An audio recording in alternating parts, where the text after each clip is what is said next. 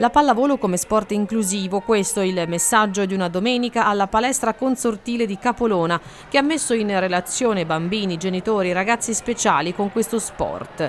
L'organizzazione era della Hearts Top Volley Club con la partecipazione degli atleti speciali di Arezzo e Cortona.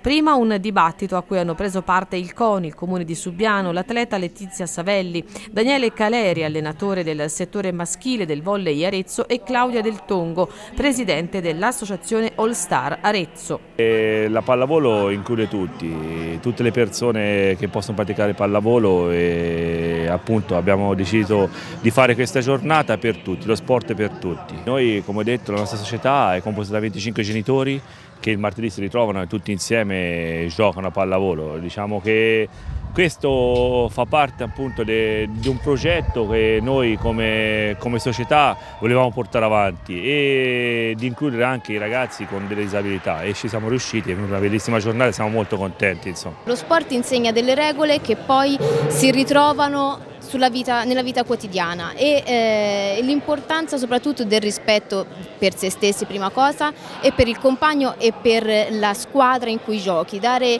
eh, la passione, cercare di fare il meglio per te stesso ma soprattutto per gli altri se c'è la pratica dello sport eh, eh, c'è anche comunità, un senso di comunità che, che, che porta ad aggregazione eh, per tutte le età. Come allenatore ho la responsabilità magari di, di dargli supporto anche tecnico, di aiutarli a, a fare bene eh, il loro sport, però sicuramente dietro, anche noi allenatori, un pochino meno protagonismo, eh, aiutarli a divertirsi, questa è la cosa basilare. Si devono divertire seriamente ma si devono divertire.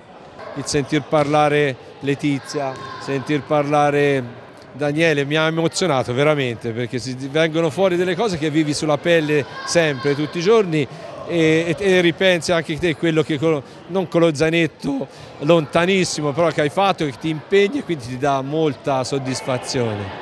Poi tutti a giocare, grandi e piccini, per promuovere la pallavolo come sport e come mezzo di inclusione sociale.